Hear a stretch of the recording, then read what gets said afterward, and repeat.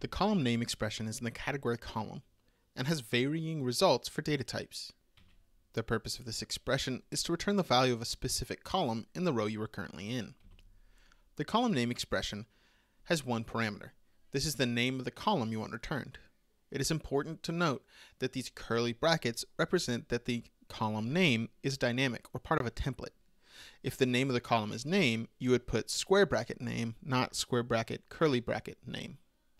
The result is the value inside the column corresponding to the name you put in. Let's look at an example. Here we can see I have put in address for our column.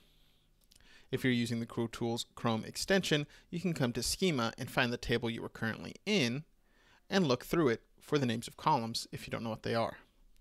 Additionally, AppSheet inside of the Columns tab has names of columns in the table you're currently in. Here again, I've put address. If we hit test, we will see that it pulls in the address for the column we're currently in.